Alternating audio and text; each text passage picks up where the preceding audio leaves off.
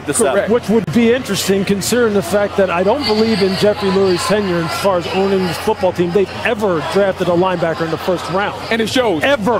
Yes. Because I just, I just think from a team building uh, philosophical standpoint, they don't believe in investing in that position in that way. Now, I'm not saying I agree. Right. I'm saying that that has never been their MO. This is very much so an offensive driven football Yeah, there, team. there are two players that could help the Giants, who is their rival right there in the division. It would be DeVonta Smith and Micah Parsons. Exactly. There's one thing I didn't think we would see. It would be the Eagles and the Cowboys making a trade. I'm getting the details on the trade from our producer, Brian Ryder, right now. Go ahead, Rides. Uh, the details on the trade are as follows. Oh, here we go. It's the 10th overall pick. The Cowboys get a third round pick this year. So that will be tomorrow night. Dallas will pick up a three in this deal. And Lewis, and we take a look at some of the other moves. So again, the Eagles this pick has been pretty much everywhere. They started at six, they traded down to 12 with the Dolphins, and now they move back up to 10.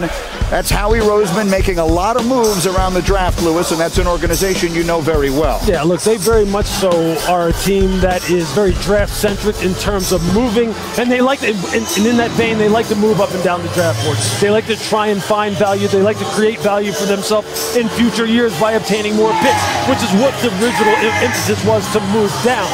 Now they see a player maybe that they want. They want to take him away from the division rival. So let's move back up. We have some ammo to do it now. Let's move back up, get a guy if we really like him, help out our quarterback, help us score points, help us put get back in contention in the NFC overall as far as getting back to the Super Bowl.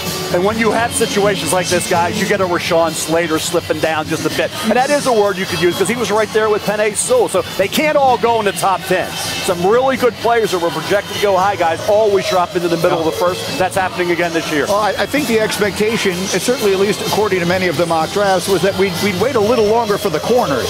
The two corners that we've seen go off the board so far, Jaycee Horn and, uh, and and Patrick Surtain, both outstanding players. But that I think is what has yeah, Dallas was so made a hot spot to move exactly. for Patrick Surtain, but he's gone, and now Dallas trades out. All right, so again, the Eagles were at six, then at 12. Now they're at 10, and a trade with their arch rival Dallas Cowboys.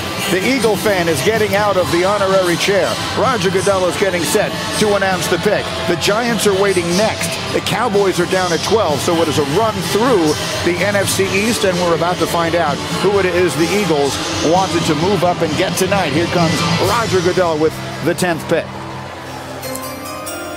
The Dallas Cowboys have traded the 10th pick to the Philadelphia Eagles.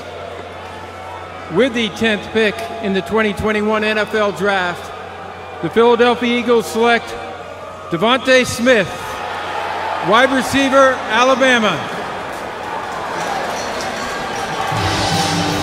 And so both the Alabama receivers have gone. That's three Bama players that have been drafted in the top 10 tonight.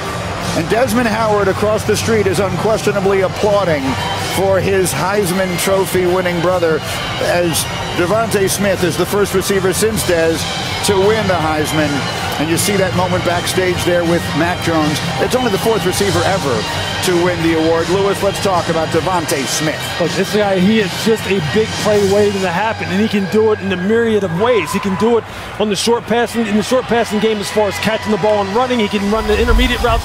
He can beat you deep down the field. Look, I really compared him to one of his to one of his alumni brethren in Calvin Ridley in terms of how he wins at the line of scrimmage and how he can win down the field. Okay, it's a quick release. You see him right here. You see the quick stab inside and then just sprint outside and then just beat you down the field on the nine ball and then just take off and, and complete the catch. Here, Calvin Ridley, you see here, a quick stab inside and then just take off on the nine route. It looks exactly the same. It's the exact same route.